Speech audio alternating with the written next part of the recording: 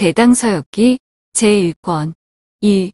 출발 인도 사이의 나라들 34개국 20, 34 가필시고 2. 옛 선현들의 말에 의하면 옛날에 건타라국의 가니세카 왕은 그 위력이 주변 나라들에 미치고 먼 곳에까지 그의 교화가 도로 퍼졌는데 병사를 일으켜서 영토를 확장하여 총령의 동쪽에까지 이르렀다. 그러자 황하 서쪽에 사는 오랑캐들은 왕의 위력을 두려워하여 스스로 인지를 보내서 볼모로 잡혀있게 하였다. 가니세카 왕은 볼모를 얻자 특별히 애를 갖추어 추위와 더위의 거처를 바꾸어가며 지낼 수 있게 해주었다. 그리하여 겨울에는 인도의 여러 나라들에서 지내고 여름에는 가필 시국으로 돌아왔으며 봄과 가을에는 건타라국에 머물렀다.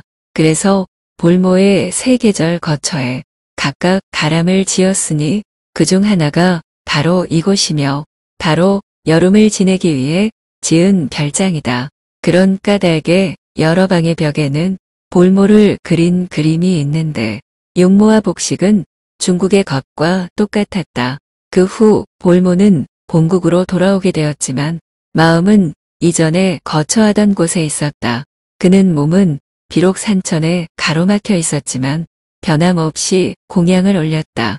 그러므로 지금의 승려들은 안거에 들어갈 때와 해제할 때마다 매번 버페를 크게 열어서 여러 볼모들을 위하여 복을 기원하고 선을 행하는데 그 일은 끊어지지 않고 전해져서 오늘날까지도 이어지고 있다.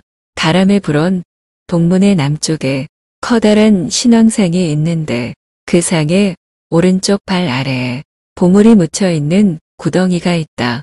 이것은 볼모가 묻은 것으로 그 명즉 금석에 새긴 글자에는 가람이 낡고 무너지게 되면 이 보물을 가져다가 수리하도록 하라고 쓰여 있었다.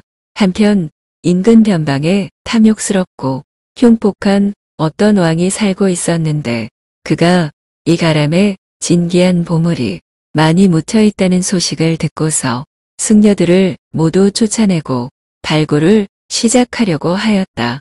그런데 그때 신왕의 관 속에 있던 앵무새의 상이 갑자기 날개를 세차게 퍼덕이며 크게 울어대자 땅이 진동하였다. 왕과 군인들은 그 기세에 놀라 물러나다가 쓰러지고 엎어지며 한참이 지나서야 일어날 수 있었다. 그들은 곧 자신들의 허물을 참회하고 돌아갔다. 가람의 북쪽 산 꼭대기에는 석실이 몇 곳 있는데 이곳은 볼모가 선정을 익히던 곳이다. 그 속에도 여러 가지 보물이 숨겨져 있는데 그 옆에 명에 다음과 같이 쓰여 있다. 이곳은 야차가 지키고 있다.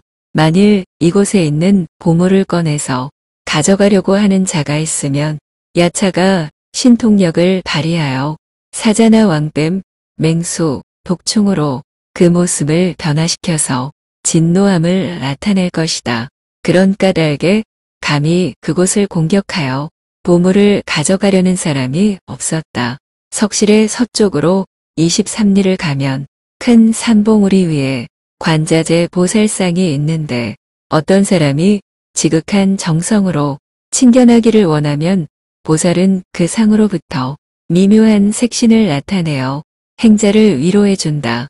큰 성의 동남쪽으로 30여 리를 가면 갈라오라 승가람이 있고 옆에는 백여 척이나 되는 솔도파가 있다. 이따금 제일이 되면 빛을 발하기도 하고 복발의 형세 위에 돌 틈 사이로 흑향유가 흘러나오기도 한다.